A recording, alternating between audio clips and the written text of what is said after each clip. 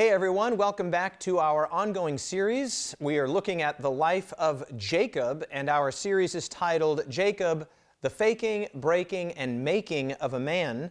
This is part four, so hopefully you've been with us on this whole journey. If you haven't, if you've somehow just uh, come upon this uh, video right now and it's part four, go back and watch parts one, two, and three because the whole series is going to make a lot more sense to you if you're following along in sequence. Every one of them, of course, would be a nice standalone presentation, but you'll get so much more if you go through the whole series sequentially. And what we're doing is we're just really studying through the story of Jacob. Today we're going to be in Genesis chapter 28. And uh, Genesis chapter 28, our presentation today is titled From Pillow to Pillar. And that's a bit of an unusual title, and it's going to make a lot more sense as the presentation continues. But I'm so glad you guys are here. We had a big presentation. Our, our, our, our last week's uh, presentation was big and it was long, and I'm aware of that. Today's is also going to be dense, but we're covering less material, probably a little less long. But man, this is one of the great stories in Scripture, and not just one of the great stories in Scripture. Today we're going to be looking at one of the most well known stories in all of ancient literature. I mean, this story has been quoted in poems, it's been quoted in songs, it's been uh, alluded to in movies, it has informed art and paintings and sculpture. So, this is not just one of the best known Bible stories, this is a really well known story. And uh, of, of course, here I'm referring to the story of Jacob's ladder and Jacob's vision at a place called Bethel. And uh, there are so many iconic stories and incidents in the life of Jacob, but this is certainly one of the most iconic. So, um, so glad you're joining us. Grab your Bible, grab something to take notes with, and let's get into our presentation titled From Pillow to Pillar. Father in heaven, as we open Scripture now, may you open our hearts. May the inspiring Spirit be the instructing Spirit and may we come away with a better understanding of who you are, of who we are, and of the world around us, is our prayer in Jesus' name. Amen. All right, so let's just pick up exactly where it is that we left off. In fact, these were the last slides from our last presentation. Jacob has been sent off by his parents. He is fleeing now effectively for his life because remember that, that when Esau has learned that his brother has deceitfully acquired the blessing that was, you know, he thought to be his. Uh, that was uh, Jacob's plan. that was, uh, the names are so hard. That was Isaac's plan, and it was Esau's plan, but it was not God's plan. So Esau's frustrated, he's angry, and he's fleeing for his life, and he is sent off, as we'll see here, to a place called Haran. He's going off back to where his mother is from, where Rebekah is from, and this was our last slide. Jacob is not yet a man, much less a godly man. He doesn't know who he is, much less who Yahweh is, but that is about to change. And we talked about the importance of that answer that was given. We're going to come back to it momentarily. In answer to the question, Who are you, my son? that Isaac had put to Jacob, he said, I am Esau. Right? I am Esau. So that's a sort of an indication, a marker to us that Jacob is a man who doesn't even know who he is. He doesn't know who Yahweh is, but as we've suggested here, that is about to change. We're in Genesis chapter 28, and we're going to spend basically all of our time in Genesis chapter 28. So let's get into this. Verse 1, uh, let's read verses uh, 1 and 2. It says, So Isaac called for Jacob and blessed him. Then he commanded him, Do not marry a Canaanite woman. Go at once to Padan Aram to the house of your mother's father Bethuel. Take a wife for yourself there from among the daughters of Laban, your mother's brother. And that really picks up exactly where we would expect it to pick up. Remember that the last time we were together in Genesis chapter 27, we went into you know, significant detail in that chapter, and we saw that that chapter was framed by Esau's decision to marry not one but two Hittite women now, it's understood by Rebekah and certainly by um, Isaac as well that Jacob's life is in danger here, right? The, the hostility between the brothers has now grown into something that cannot be contained. Rebekah is aware, as is Isaac, that the threat to kill his brother Jacob, Esau's threat to kill his brother Jacob, is, you know, uh, when the days of his father's mourning are past. Well, Isaac is still very much alive, of course, but once you've said that kind of a thing, it's a dangerous environment, it's a hostile environment, and the better part of wisdom is to get him out of here, let things cool down a little bit. And Rebecca believes incorrectly that this, you know, this will cool down, you'll go find yourself a wife. It's like going away to college or something. You're going to go away to college, you'll spend a few years there, and then you'll come back. I will summon you when everything is cooled down and you can come back. But as we noted, he will never see the face of his mother again. And I believe that the the pretense of not marrying someone from here, I mean, yeah, they certainly don't want him marrying a Canaanite, but they're, they're saying, oh, go for this reason, which I think is probably sincere, but it's also the, the official excuse or the official way that they're going to send Jacob along because they are, again, afraid for his very life. And uh, don't marry a Canaanite woman. All right, now verses 3 and 4. May God Almighty bless you. Now, this is the actual blessing. It's fascinating about this is that this is now a further blessing and a follow up blessing to the blessing that had been given back in chapter 27. And this blessing is even more thorough, it's even more biblical, and it's got all of these like creation elements in it and Abrahamic elements in it. I mean, just look at this. Here is the blessing that he gives to his son. Verse 3 May God Almighty bless you and make you fruitful and increase. Increase your numbers until you become a community of peoples. May He give you and your descendants the blessing given to Abraham, so that you may take possession of the land. We've talked about land and descendants. There it is, right there, where you reside as a foreigner, uh, the land that God gave to Abraham. Now, this has all of this sort of language of both creation and of the Abrahamic covenant really contained in it. And it's important because it shows that now Isaac is resigned to the fact that his stubbornness has been overcome. Again, not in the way that God had hoped or intended, but God works with what we give him. And there is a resignation here, and he is, you know, in a full throated way endorsing his son here. And he gives him this Abrahamic creational blessing and then sends him on his way. You get, you get the sense here that, that it's the calm after the storm, right? You, you think Isaac is now resigned to this. Rebecca's pleased as punch. I mean, she's just happy. Now, she doesn't like the fact that her son is going away, and she doesn't know at this point that she will never see him again. But it feels like, oh, everything's well and fine and good. But it doesn't feel that way for Jacob. Jacob doesn't want to leave, and he certainly doesn't want to leave under these circumstances, and he is racked with guilt. All right, verse 5. Then Isaac sent Jacob on his way, and he went to Padan Aram to Laban, the son of Bethuel the Aramean the brother of Rebekah, who was the mother of Jacob and Esau. And we're going to have a lot to say in future presentations about Jacob's sojourn in the land of Padan Aram with uh, Bethuel, and, or with Laban rather, uh, the son of Bethuel. We're going to have a lot more to say about that, and we will get there eventually. But we've got chapter 28 that we've got to deal with here. And we need to make a, a kind of difficult observation, but it's an observation that's true nonetheless that in seeking to save her son, Jacob, Rebekah lost him because, again, she would never see his face, never again on earth. And this is a tough pill for us to swallow that the overbearing, well intentioned affection of the mother is actually, and, and lot, this happens with a lot of parents. This is actually going to create a situation where you've overdone it, you've overplayed your hand, and the separation is very real and it's not temporary, it's permanent.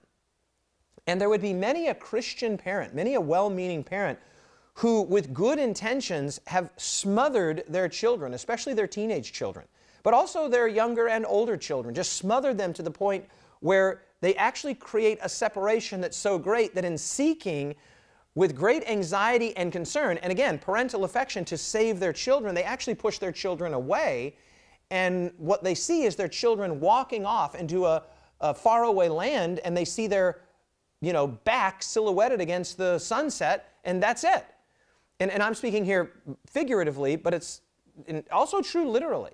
Sometimes we effectively drive our children away. Now, of course, in a healthy situation, your children should leave and cleave, right? They should go out and find their mates and find their lives and get their jobs and do their things.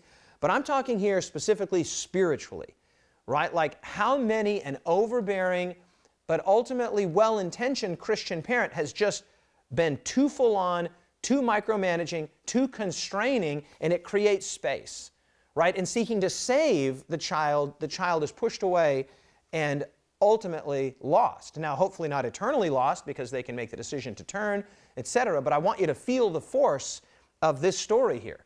That Rebecca's efforts to save and to bless and to help actually had the exact opposite effect. And so then we read, we sort of jump down to verse 10, we read these few words Jacob set out for Haran. That is to say, he heads to the land of his, his mother's homeland. And I can just imagine on this journey, first of all, it's not a leisurely journey. He's not sauntering there. No, no, he is fleeing for his life. It is entirely possible now that he's leaving, and Esau is aware that he's leaving, again, under the pretense, go find a wife, not from around here, that Esau thinks, oh, this is my moment. This is my moment to go out to kill my brother and it not be known that I'm the one that did it. We're, we're going to see in the next story, if we do a series on Joseph, that someone can be killed or nearly killed, and then you can drench the garments in the you know, blood of a goat or something and go back. And it's not like there was a police department to investigate this. I mean, this, this is Esau's chance. And Jacob's fear and his being racked with guilt and being sent away hastily, all of this would have made for an extremely unpleasant journey. And the headspace that Jacob is in here is one where I just imagine that this conversation is just playing itself out over and over again in his mind. My father, yes, my son. Who is it? I am Esau, your firstborn. And, and I just, in my mind's eye, I just see that as he's fleeing in fear, this, this conversation, this fateful, pivotal conversation, must have been ringing in his ears and every time he rehearses and rehashes that conversation, guilt is pressing down hard upon him. I mean, it had all happened so fast, right? I mean, uh, Isaac says, Oh, I'm going to bless Esau. And he sends him out seemingly, you know, secretly. But Rebecca catches on to it. Quickly, go bring me goat. It all happens so quickly. And the chain of events is such that now Jacob can hardly believe what's happening here in very short order. Probably not hours, more like days, but still. He's now walking hundreds of miles back to the east to try and find a wife. And mom, remember, he's a mama's boy. Mom is in the rearview mirror, dad is in the rearview mirror, and he's just utterly racked with guilt. And, and I can relate to this, and I think we all can. You know, we've made a mistake, we've made a mess of something, we've blundered something, and then what do we do? We further torture ourselves by rehearsing our failures by going over it again and again and again. And we almost feel in some weird way that there's almost a value in torturing ourselves with our failures, with our guilt, with our mistakes. And it just can, in, in worst case scenarios, just lead us down into this deep, dark place where we just feel like, I deserve this. And, and there is a sense in which we do, but this sort of repetitive, torturing ourselves with our mistakes and with our failures leads to a very dark place.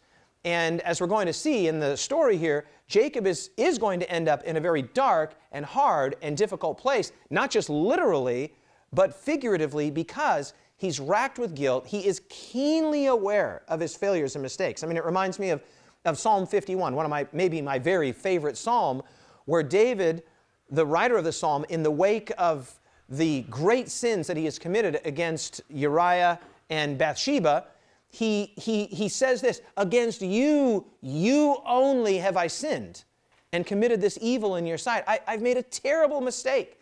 And God, you see it. I have sinned before you. And that sort of personalization and that, that just going over again and again you know, we do want to bring our sins and our failures and our, and our guilt to God because where else are we going to go with it, as we'll see here in a moment. In fact, we'll see that right now. That y- you can't really run from guilt, can you? Because everywhere you go, there you are. Right? Like sometimes we think, oh, I just need to change a place, I just need a change of scenery, I need a new location, I need to reinvent myself, and that's true.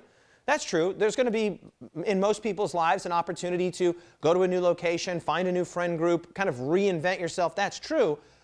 And there's nothing wrong with that, nothing at all wrong with that, in fact. But, but the idea that you're going to escape your guilt, that you're going to flee from your mistakes, that's a harder thing to do because you know your failures, you know your mistakes. You're rehearsing, as Jacob was, that conversation over and over again in your mind. I am Esau.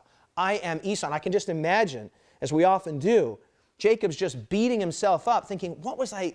What a, what a terrible mistake. I should have said no to my mom. And when he asked me who I was, I, I should have just said, Ah, it's Jacob. I mean, he couldn't see. I, I could have still gotten out of it at that moment. I mean, we just rehearse and we catastrophize these mistakes that we make, and we find ourselves increasingly isolated and we feel very lonely. And Jacob here is literally lonely. And you're supposed to feel that. Like in the narrative, you're supposed to feel that he's away from his family, he's away from his homeland, he's racked with guilt, and this was not the way. If he was going to leave, there's nothing wrong with going away for a time to college, so to speak, to, you know, to find a spouse, but not under these circumstances. And it's, it's not difficult for us to enter in, you know, emotionally in our imagination into Jacob's headspace because we've all been there. Right? We've all been there. And then we get to verse 11, and, and here's where this iconic story begins. Right? This iconic story of Jacob's ladder and uh, the, the staircase that goes all the way to heaven. We're going to get there momentarily. But I like the language here in verse 11 when he reached a certain place. And let me just pause right there. Every one of us in our life, when we're wrestling with guilt, when we're wrestling with our failures, when we're trying to reinvent ourselves, when we're trying to make a wrong right, we come to a place. It might be a literal place geographically, such as Jacob is coming to here, or we might just come to a place emotionally where we just say, you know what, I can't do this anymore. I, I can't, I just, you, you come to a place, a place of decision, a place of, of, of pivoting, of changing, of switching. You say, no what, I'm not, I need to come to a place, a new place. Now, Jacob of here, Jacob, of course, here has come to a literal geographical place but it's going to be more than just a place to stop for the night. He's fleeing, I imagine in my mind's eye, at you know, every opportunity, whether he's going through a ravine or over a hilly or, or over a hill or through a valley, he's looking, he's wondering, is Esau tracking me? I mean, Esau's a hunter, right? Even if he tried to make his way circuitous and difficult to track, I mean, Esau's a hunter, and if Esau wants to get him, He's going to get him. Now, as far as we know, Esau is not pursuing him. At least the story gives no indication of that. But there's no doubt in my mind that Jacob is imagining this, right? It could have actually been the case. But in the same way that when we've made mistakes and we've failed and we've fallen, we catastrophize. We think the worst possible thing is happening. And so Jacob here comes to a certain place. And he stopped for the night because the sun had set. He's exhausted, he's tired, he's afraid, he's lonely, he's racked with guilt. And this is sort of signified by the fact that he takes one of the stones there and he puts it under his head and lays down to sleep. You're supposed to go, wait, what? A stone for a pillow? Exactly. Now remember, our presentation is titled From Pillow to Pillar. And here's the pillow part. Here's the pillow part. So, just to sort of summarize everything that I've said here, Jacob is in a dark and hard place emotionally and literally. I mean, his head is on a rock pillow I mean, talk about being in a hard place. You're in a bad way if the softest thing you can find to lay your head on for a sleep or for a rest is a rock. And fear and exhaustion and guilt and regret and loneliness all threaten in this moment to overwhelm him. And again, Ellen White in her book, Patriarchs and Prophets, picks up, I think she's note perfect here. She picks up this sort of emotional, spiritual space that Jacob was in as he headed as he headed for and fled toward Padan Aram. It says, The evening of the second day found him far away from his father's tents. He felt, ah, there's that word, he, he felt. And we all know what it is to feel a certain way about our failures, about our mistakes, about a giant miscalculation, right? We've, we've made a mistake in a relationship. We've said something we shouldn't have said. We've done something we shouldn't have done. We all know what it is to feel estranged, distant, lonely. He felt he was what? An outcast. And he knew, as we always do when we've failed and fallen, he knew that all of this trouble had been brought upon him by his own wrong course. And that's the rub.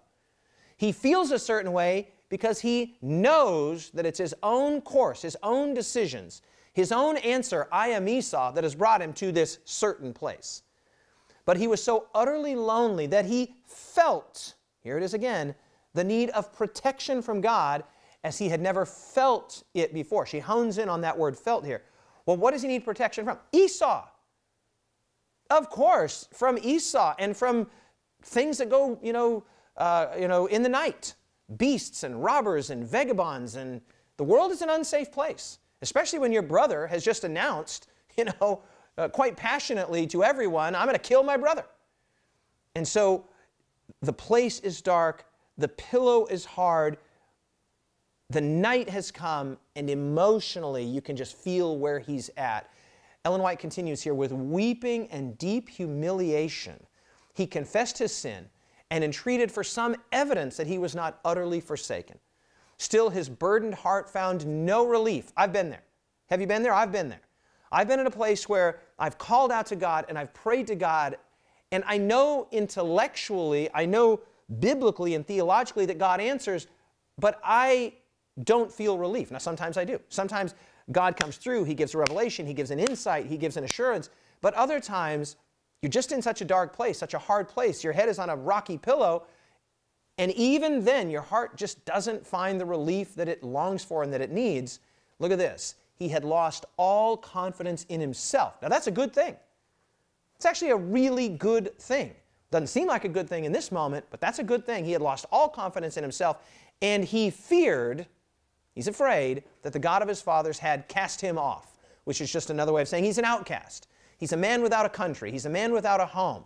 Here he is sleeping in some you know, nondescript place with his head on a rock, and it just seems like it's any ordinary place, any dark place, any hard place, any terrible place, any lonely place, any depressed place, any discouraged place.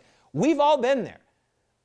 But that certain place, that non place, can be transformed into a glorious place if and when God shows up. And I love what Walter Brueggemann does in his Genesis commentary here. And when I read this, I just thought, I've got to include that. That's got to be a part of the series. I love the language here, and I love the way he communicates it. Look at this. Brueggemann writes A non place is transformed by the coming of God into a crucial place. Now, now I'm just going to pause right there for a moment.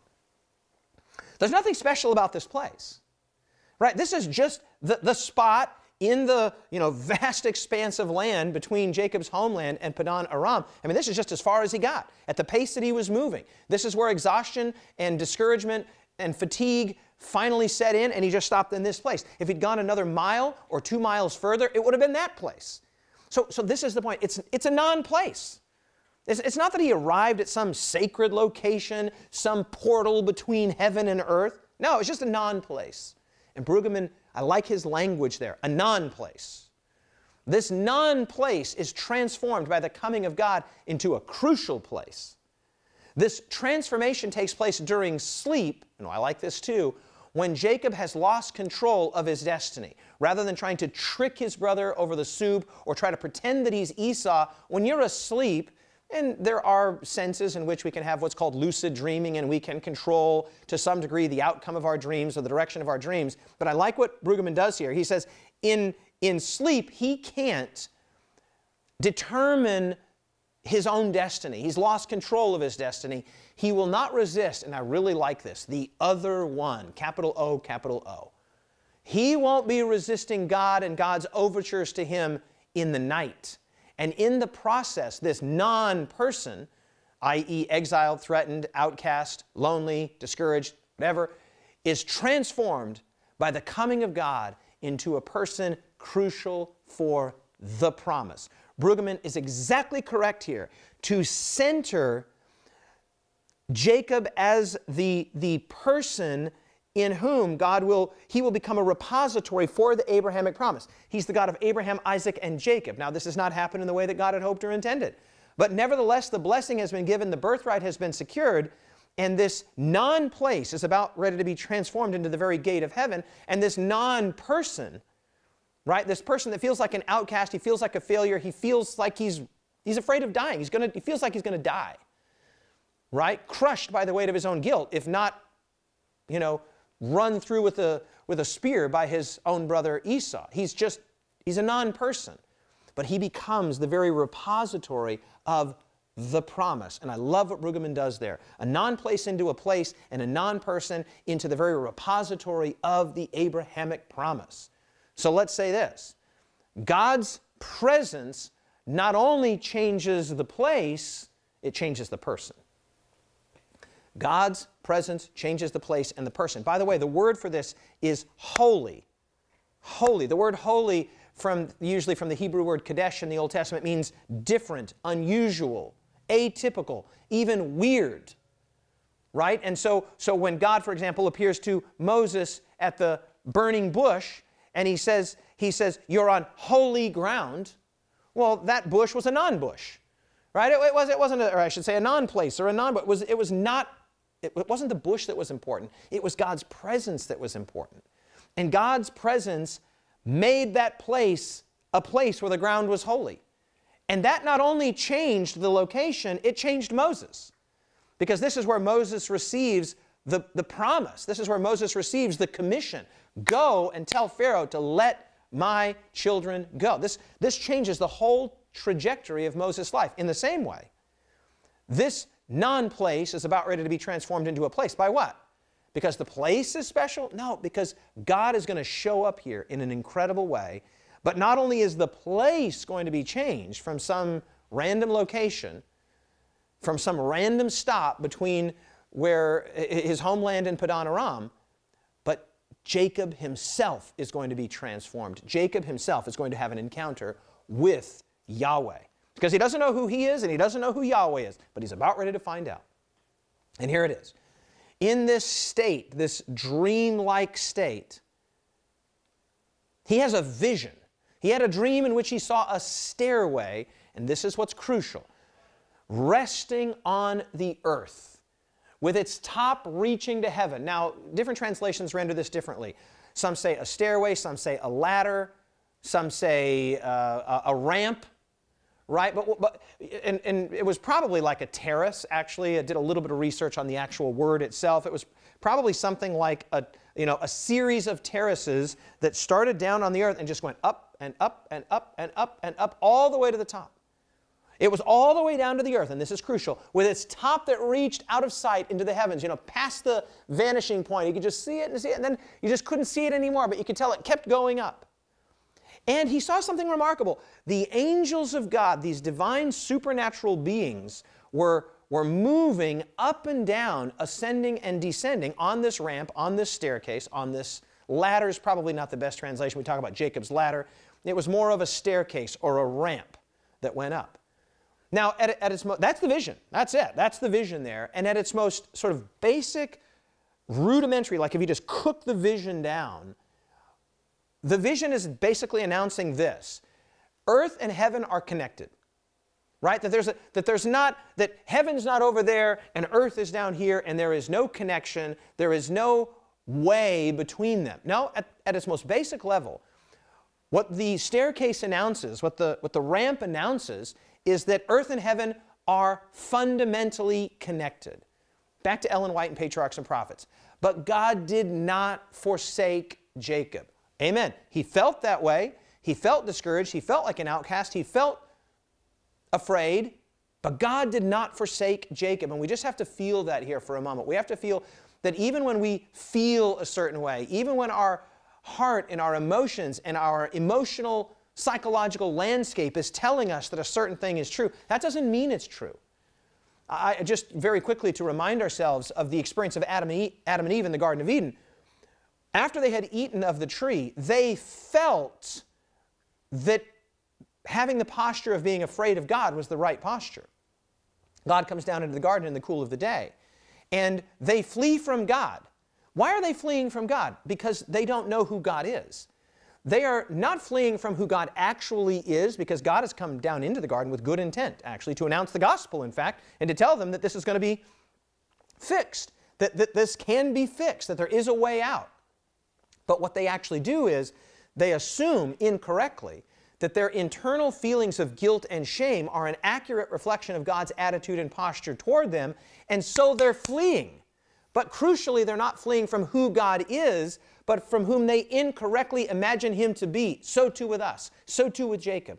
When we feel that we are estranged from God, that we are outcast from God, that we are, that, no, no, that's not actually the case. That's our own voice of guilt and the internal voice of conscience, of conscience, our own keen sense of our failures and our faults and our mistakes, telling us you're out, you're an outcast, you're estranged, you're forsaken. But that's not true. It's absolutely not true. And we need to say no to how we feel and yes to what Scripture says. We're going to get to that in just a second. But God did not forsake Jacob. His mercy was still extended to his erring, distrustful servant. The Lord compassionately revealed just what Jacob needed. Hallelujah! A Savior. He had sinned, yes, but his heart was filled with gratitude as he saw revealed a way. And there it is. I underlined it for you so you can't miss it. A way by which he could be restored to the favor of God. That's what that staircase represents. A way. And Ellen White just says it unambiguously here and unadornedly. The world is not left in solitary hopelessness. Hallelujah. And not just the world, you, me. Like, how about this? David is not left in solitary hopelessness. You are not left in solitary hopelessness. Say it out loud. I am not left in solitary hopelessness. Have you failed? Have you made a mistake? Have you made a mess of it? Did you do the wrong thing? Did you say the wrong thing? Did you think the wrong thing? Yes, yes, and yes in any given circumstance. That's entirely possible, likely. But you are not left in solitary hopelessness. And then this the ladder represents Jesus. The ladder represents Jesus. That ramp, that staircase, that she calls ladder here, represents Jesus. Earth and heaven are connected. The appointed medium of communication. Had he not, with his own merits, bridged the gulf that sin had made, the gulf, right? The chasm, the abyss that seemingly separates heaven and earth. The ministering angels could not have could have held no communion with fallen man. Christ connects. Christ connects man in his weakness and helplessness with the source of infinite power. There it is. Christ connects. And this is exactly, of course, what Jesus referred to in John chapter 1, fast forwarding to the New Testament, John chapter 1. Then Nathanael declared, Rabbi, you are the Son of God, you are the King of Israel. Verse 50, Jesus said, Yet you believe because I told you that I saw you under the fig tree. You're going to see greater stuff than this, man. You're impressed by that. You're going to see a lot more than this. Then, verse 51, he then added, I'm telling you the truth. Very truly, I tell you, you will see heaven open and the angels ascending and descending on the Son of Man. This is Jesus saying what Ellen White just said expressly. That ladder, Jacob's ladder, Jacob's ramp, Jacob's staircase, represents Jesus the connection, the way between heaven and earth. And so we've already said, at its most basic, we just cook the vision down to its, you know, basic, most basic lesson, its most basic point, it's that earth and heaven are connected, but let's add this now, by Jesus. Earth and heaven are connected by Jesus. And we quote Brueggemann again. All right, this is just too good to leave out. The meeting happens in a dream. The wakeful world of Jacob was a world of fear and of terror and of loneliness, and we may imagine, writes Brueggemann, unresolved guilt. Of course. What is your name? Who are you? I am Esau. And so Brueggemann is note perfect here fear, terror, loneliness, unresolved guilt. The dream, and I love this language, the dream permits the entry of an alternative into his life. An alternative into his life. The dream is not a morbid review of a shameful past, it is rather a presentation of an alternative future with God. The gospel moves to Jacob in a time when his guard is down. Oh, feel that, friends. Feel that right now. The gospel, notice, Jacob doesn't move to the gospel. The gospel moves to Jacob in a time when his guard is down. And don't miss the punchline here. The vision is not a review of you know, some itemized catalog of his failures. It's not a vision that primarily looks back, it looks forward. In fact, look what I've got here on the screen, just so you can really rivet it in your mind. When it comes to our sins and our failures, God orients us more to the future than to the past because what lies ahead supersedes our past missteps. I mean, this is incredible. It's absolutely incredible that when he is discouraged and he's alone and he feels like an outcast and he's racked with guilt, God doesn't show up and say, Man, you blew it. You made a giant mistake. What were you thinking? How could you possibly? No, no, he doesn't say, Let's go over in itemized fashion. You know, the catalog of your mistakes, the catalog of your failures. In fact, he doesn't point backward at all. He points He really doesn't even point forward, he points upward. Ah, friends, feel this. Feel this that in his darkest, hardest, most difficult, and discouraging and trying moment, God doesn't point him back to his failures and mistakes, to his past that he is keenly aware was a giant mistake and failure. He points him forward, but mostly upward. He points him upward. I mean, this has got Jeremiah 29 11 written all over it. For I know the thoughts that I think toward you, says the Lord, thoughts of peace and not of evil, to give you a future forward and a hope upward. A future and a hope. Oh, it's amazing. And I could point you literally to story after story after story, but we don't need to go to other stories because this story makes the point. But I could point you to story after story where God arrives at somebody. I mean, we've already mentioned the Garden of Eden there. God points them forward to the promise of a deliverer with Adam and Eve. And here he points Jacob forward through the ladder, through the ramp. And so the language is unambiguous. The ladder is Jesus. Back to Brueggemann. The ladder is a visual vehicle for a gospel assertion. It goes forward and up. Friends, say it right now. Say it out loud to yourself. I'm going forward and up. I don't know what's in your past. I know what's in my past. I know my failures. I know my mistakes. I know my missteps. I know my dysfunctions. But God doesn't turn me around and like a dog returning to its vomit, it doesn't, he doesn't make me look back and, and have great uh, uh, awareness of my past. I know my past. I don't need God you know, to rub my nose in it. This is what Psalm 51 is all about. What God does is He turns us this way. He gives us a future and a hope, forward and upward. And the point that Brueggemann makes here is exactly correct. The, the, the ladder, the ramp, is a vehicle for a gospel assertion that the gospel has moved toward Jacob. Earth is not left to its own resources, and heaven is not a remote, self contained realm for the gods. And I love this. Brueggemann is, is very concise in his writing style. Heaven has to do with earth. Heaven has to do with earth. I mean, that's it, that's the point. But in Jacob's encounter with Yahweh, it's really made up of two parts when you read it there in Genesis 28. It's made up of two parts. The vision is what Jacob saw, but there was also the promise, and this is actually by far the, the larger part of the revelation. What he saw is just a very short little bit. He saw a ladder reaching from the ground up to the heavens, and angels were going up and down on it. I mean, what he actually saw was quite small in the revelation.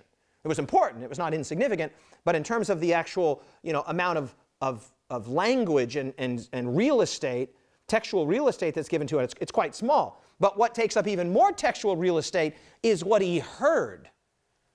And what he heard, the sort of narration to the vision, is incredible. Look at this Genesis 28, verses 13 and 14. And above it, that is to say, above the ramp, the ladder, stood Yahweh, this God that he does not know. And he said, I am Yahweh, God of your father Abraham and the God of Isaac.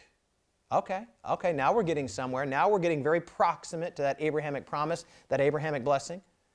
I will give you and your descendants the land. We've noted this again and again land and descendants, land and descendants. A goodly land inhabited by a godly people was God's original creational intent, and God has never moved away from that creational intent. In fact, that's why when you go fast forward all the way to the end of Scripture, fast forward all the way down to the book of Revelation, what do you have? A new heaven and a new earth that's occupied by a godly people in whose foreheads are written the name of God. What is that? That's a goodly land, a new heavens and a new earth, inhabited by what? A godly people. God's intent has never changed. The, the old Hebrews used to say that their vision of paradise, their vision of heaven, was every man, every woman under their own fig tree. Right? Your own little patch, your own little piece of real estate. A goodly, productive, fertile, flourishing land inhabited by a godly people. And that's what he says here. I will give your descendants the land on which you are lying. Your descendants will be like the dust of the earth. You will spread out to the west and to the east, to the north and to the south. If you're at all familiar with the Abrahamic promise in, in Genesis 12, in Genesis, it's reiterated in Genesis 15, 16, 17, 18, and beyond. This is the same language. It's like the identical language. All peoples on earth will be blessed through you and your offspring. This is a, almost verbatim, well, in some cases, it is a verbatim, sort of compressed, summarized version of the Abrahamic promise. I mean, this is incredible. At his darkest moment, when, when he feels most estranged from his homeland, most estranged from his family, and most importantly, most estranged from God, whatever God is, racked with guilt and fear and struggling, God shows up and tells him that he's an heir and inheritor of the most important promise in his family, in his lineage, and this promise that's significant and influential for the whole world. All peoples on earth will be blessed through this promise, through him. That was the very Abrahamic promise. And then this. Whoo! Then this. Verse 15. I am with you. Feel that. Feel that. In that moment, in your imagination, go back to Jacob in that dark place, in that hard place, in that place of profound discouragement and estrangement. And God says to him, as he sees the ladder that connects earth and heaven, I am with you. I am with you. I will watch over you wherever you go. I will bring you back. It's going to be okay. Stop looking over your shoulder about Esau. I've got this. And I will not leave you until I have done what I have promised. Now, just look at this. I mean, this is what God says in, in verses 13 to 15. I will give, I will give the land and the, the descendants to you. I'm going to do that. You and your descendants, we're going to get this land. I am with you. I will watch over you, or some translations, I will keep you. I will preserve you. I will bring you back. I will not leave you. And you can have confidence in all of this because I have promised. This has got the story of Abraham all over it. It's got the gospel all over it, right? It's got the I will never leave you nor forsake you vibe. Wow, I just want you to feel this. Let this wash over you. Let this infiltrate every corner of your mind and of your thinking. Just feel that this is the, the, the, God that makes these kinds of promises when you're at your lowest moment, when you feel the most discouraged, the most estranged, the most cut off, the most guilty. God shows up in that moment, gives you a grand and beautiful vision and dream, and says, I'm not going to leave you. I will be with you. I'm going to protect you. I'm going to make you a bunch of promises. Whoo! Feel that. Brueggemann summarizes all of this by saying, basically, thus, accompaniment, protection, and homecoming, what he calls a full complement of good news. What's good news? The gospel. And that really is the gospel, those three words accompaniment, I will be with you, protection, I will keep you, homecoming, I will bring you to myself. I will bring you back to this land and I will not leave you. Right? This is what Jesus said to his disciples in John chapter 14. Don't let your heart be troubled. You believe in God, believe also in me. In my Father's house are many mansions. If it were not so, I would have told you. I go to prepare a place for you. And if I go and prepare a place for you, I will come again to receive you to myself, that where I am, you may be also. Accompaniment, protection, homecoming, a full complement of good news. And don't miss this. The announcement is not made when he's at his best, when he's at his most well behaved, when he's doing everything in exactly, you know, the upright Remember our Hebrew word tom, His, the perfect way? That, that's not when the announcement is made. The announcement is made when he's in a dark, lonely, fearful place and his head is on a pillow. Come on now. Feel that. Yahweh's blessing of Jacob recalls Isaac's earlier blessing, and also, as Isaac's blessing had, which we just saw earlier in the chapter, draws on creation and the Abrahamic covenant. And this is a cool point. Don't miss this. Thus, Isaac was prophetic when blessing Jacob according to God's radical word to Rebekah. Now, I just can't, I can't run over this without noting the point of what might have been, what could have been, or what should have been. If Isaac would have submitted himself to the word of Rebekah, if even though he was blind literally, he would not have been blind spiritually, if he would have listened to his wife, is basically what I'm saying here, then he would have known that, that this was God's intent all along. And God, in his own way, would have worked it out. He could have pushed back against unjust primogeniture, and he could have pushed back against unaccountable patriarchalism. Now, look at this. Isaac was prophetic when blessing Jacob according to God's radical word, the overturning of conventional wisdom to Rebekah. But he was thwarted when he attempted to bless Esau in the same way contrary to God's radical word to Rebekah. It's fascinating. It's absolutely amazing and fascinating here. All right, verses 16 and 17. When Jacob, when Jacob awoke from his sleep, he thought, Surely Yahweh was in this place. This place, and I was not aware of it. He was afraid and he said, How awesome is this place? This is none other than the house of God. This is the gate of heaven. Okay, so this is the place. He, he thinks incorrectly, mistakenly, that, that something's really, wow, lucky me. How fortuitous. I just, I ended up in exactly the right place. No, no, no, no. It's not that this place was special. It's that Yahweh's special and the whole earth is His. And if you would have stopped a mile back or if you would have gone a mile further, that would have been the place because Yahweh is the one that changes not only the place, but He changes the person. It's not just that you fortuitously landed in some holy shrine, some portal between heaven and earth. No, no, no, no. The ladder right here on the screen, the ladder which came from heaven down, all the way down to the earth. Watch this. In the sort of larger story of the book of Genesis, is actually the reverse of the Tower of Babel. Now, what? You say, where'd that come from? Well, think about it.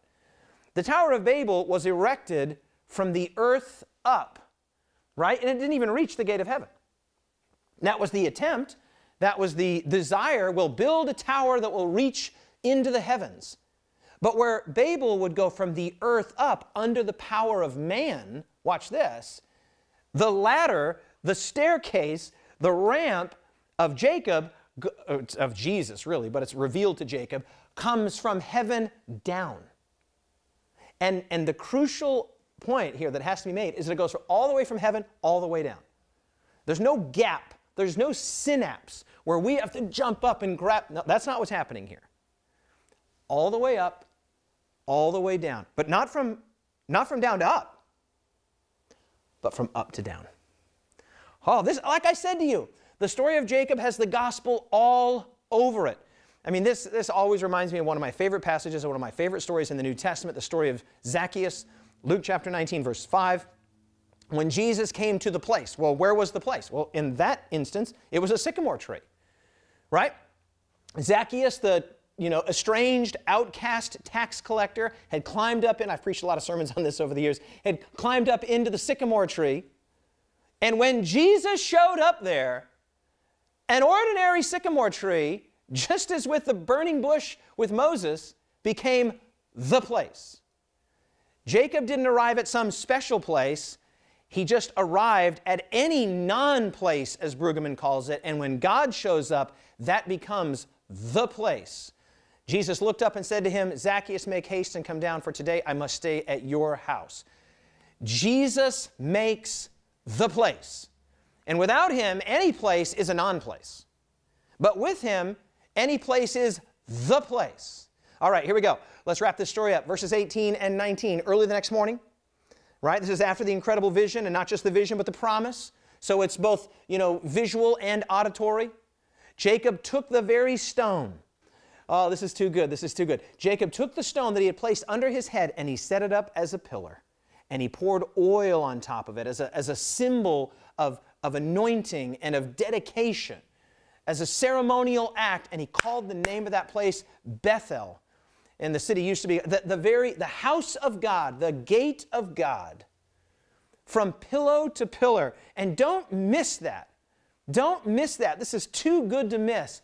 The rock of hardship and pain, that stony pillow, has now become the cornerstone of holiness and of praise.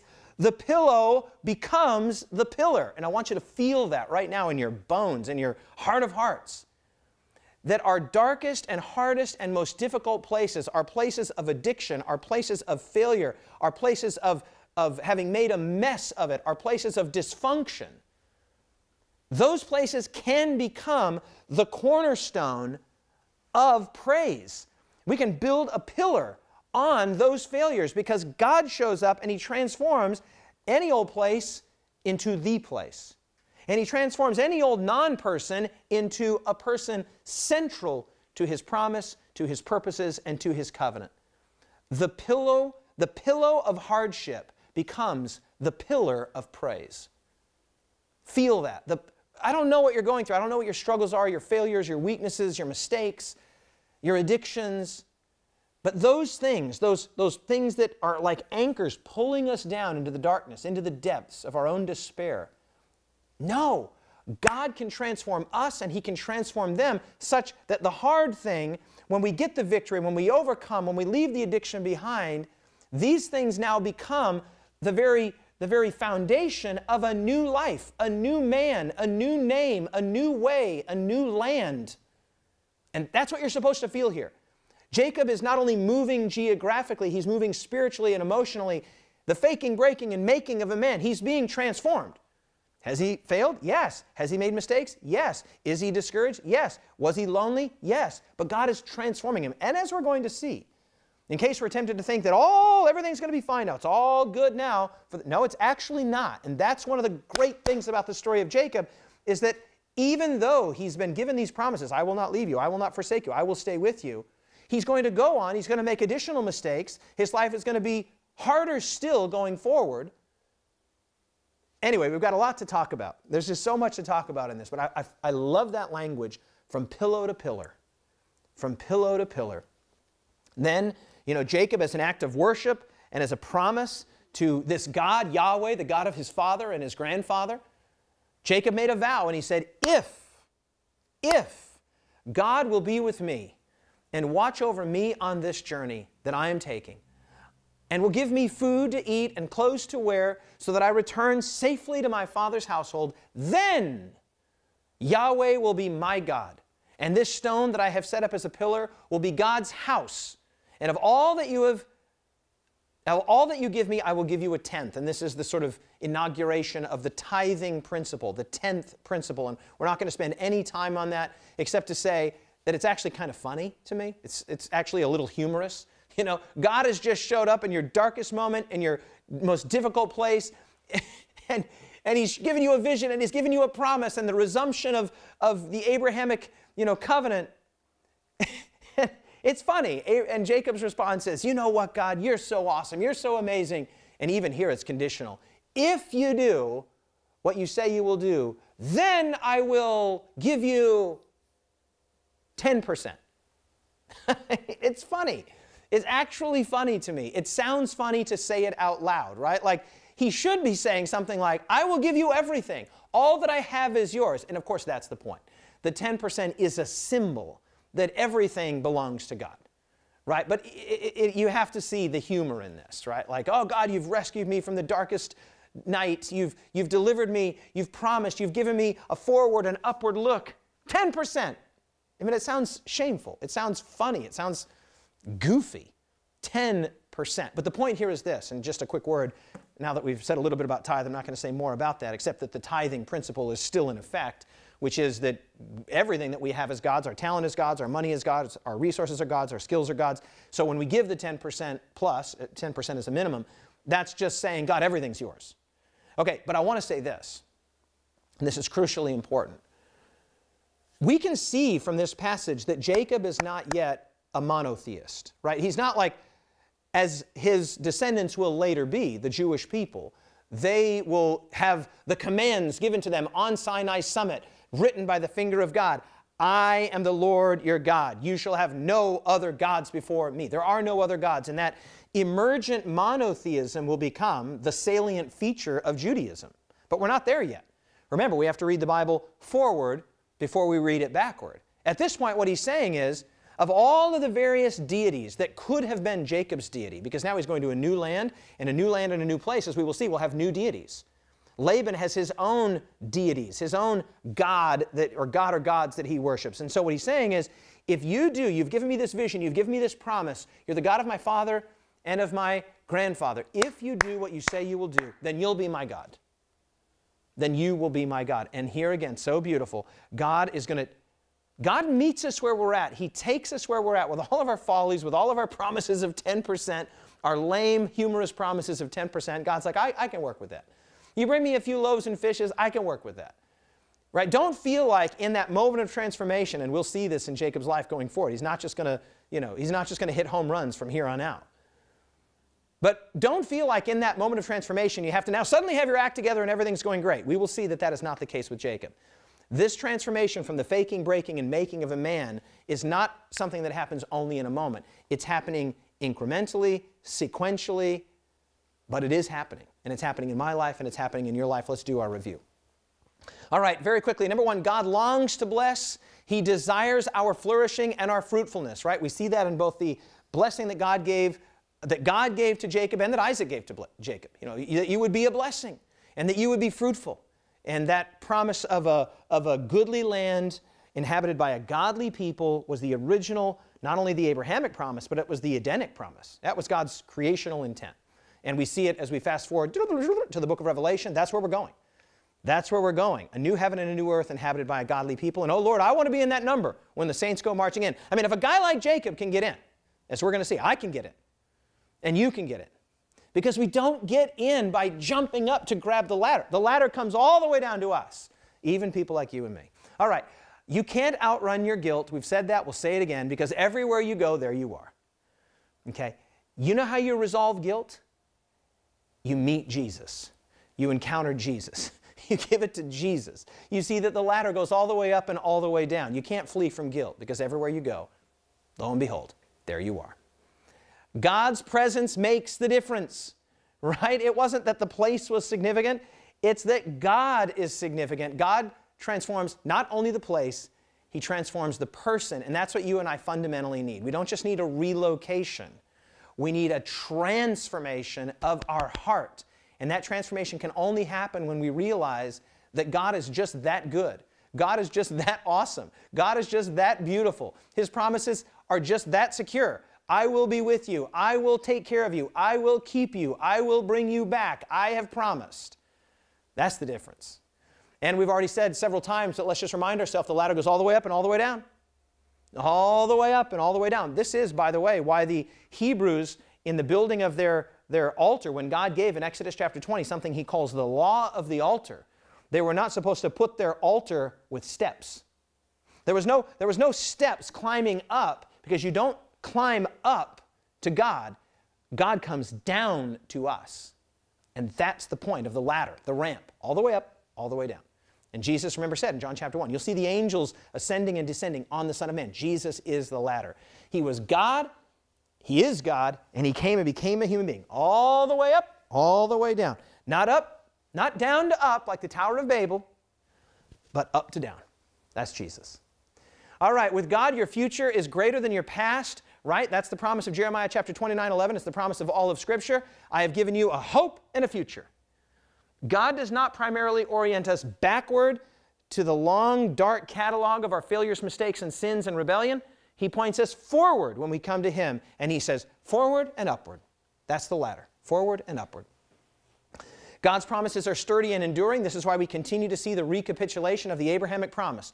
We just can't get away from it. We can't get away from it. We can't get away from it land and descendants, land and descendants, land and descendants, a godly people inhabiting a goodly land.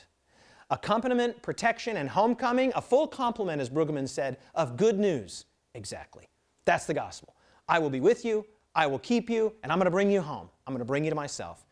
And then, as our title suggests, the big punchline here is our pillows of hardship and difficulty and darkness and fear and despair can become, and pain, can become those pillars of holiness and of praise. And God can transform our addictions, He can transform our failures when we turn to Him and say, yes to, yes to Yahweh, yes to Jesus. And He says, You are no, well, we'll get to there a little bit later. He transforms us, He transforms the place. And again, as we will see, this transformation in Jacob's life is not a moment, it's not one off. It's an ongoing growth, an ongoing transformation as Jacob becomes the man that God had called him to be, and we should expect the same in our lives. Let's pray. Father in heaven, what a story! What a story! What a vision! What a revelation! We are so thrilled. Beyond thrilled, beyond thankful. Father, our whole being goes out in praise to you that the ladder goes all the way up. The ramp, the staircase goes all the way up and all the way down. And Father, we need it to come all the way down because we have some dark places, we have some hard places, we have some failures, some addictions, some faults, some mistakes. We've made a mess, Lord, and our head is on a rocky pillow. Father, I pray that in my life and in the lives of those that are listening, that you would turn that rocky pillow into a pillar of praise, a pillar of thanksgiving, and a pillar that reminds us of your promise of a hope and a future, forward and upward, not to Jesus, but with Jesus and through Jesus. And it's in His name that we pray. Amen.